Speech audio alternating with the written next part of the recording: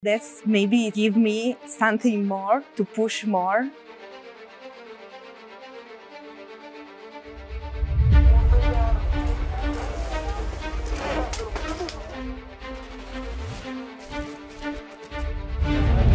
The parallel is strange because you fight directly with the other girls.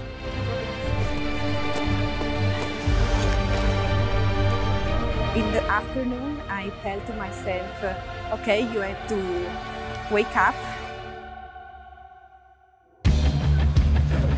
You try every run to give your best, and then it's strange because they are a lot of run, but very short, so it's in a rush. You go down and then you come back at the start and you have to go again. So it's, it's really fun actually.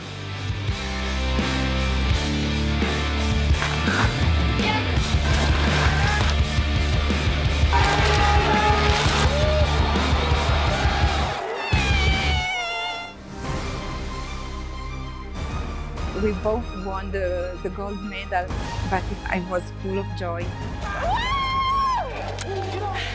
Yeah, it, it, it, was really beautiful to win there in Italia, in Cortina. It was special.